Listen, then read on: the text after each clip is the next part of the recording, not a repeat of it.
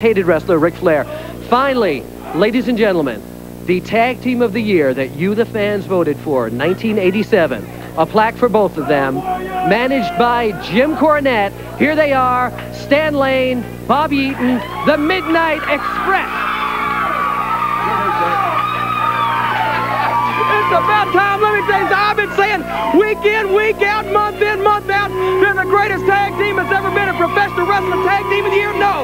Team of the decade, maybe, but at least it's a little bit of a start. Tell Stan.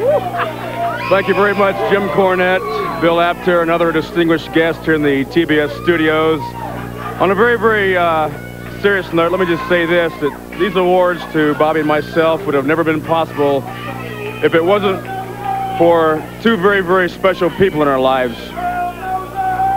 And, and these special people are beautiful Bobby and sweet Stan. I just want to know what took you folks so long, why it took you so long to realize that we're the greatest tag team going today. If you don't believe us, just ask any lady anywhere in the country and they'll tell you, brother. And we don't want to neglect to thank the members of the Academy either.